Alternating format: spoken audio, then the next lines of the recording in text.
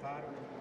El patio de luces de la Diputación de Almería vuelve a brillar para la cultura almeriense. La exposición La Chanca en color 1960-1965 de Carlos Pérez Siquier se inauguró en un acto que sirvió para reivindicar el talento y la obra de uno de los creadores más universales y decisivos para el arte fotográfico. La muestra que se lleva a cabo gracias a la colaboración entre la Diputación Provincial y la Fundación de Arte Ibáñez Cosentino, Centro Pérez Siquier, exhibe una de las series más conocidas de su autor, pero con una importante novedad, ya que la mitad de las imágenes se presentan al público por primera vez. La diputada provincial María Luisa Cruz y el comisario de la exposición, Juan Manuel Martín, inauguraron la muestra en un acto al que el autor no pudo asistir por motivos de salud. En ella apreciamos la singularidad de la luz y el color tan personal y característico de Carlos Pérez Siquier.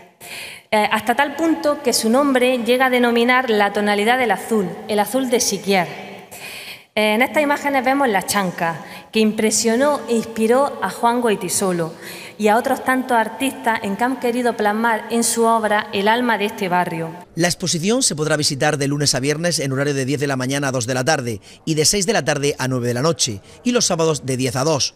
El comisario de la exposición, Juan Manuel Martín, precisó que la selección de fotografías parte de una serie mucho mayor que consta de 410 imágenes, de las que se han escogido 43 para esta exposición. Carlos durante los domingos de todo, eh, sobre todo durante el fin de semana de aquellos años, se dedicaba casi que por costumbre a visitar el barrio, a recopilar imágenes, sensaciones y la vida del barrio. Yo creo que es muy evidente cuando se ven eh, la gente del barrio, se ven las costumbres del barrio, se ve cómo era la vida en aquel momento. La exposición se enmarca en las labores de digitalización y recuperación de todos los originales pertenecientes al archivo Pérez Siguier, que se está llevando a cabo desde el Centro Pérez Siguier, radicado en Ulua del Río.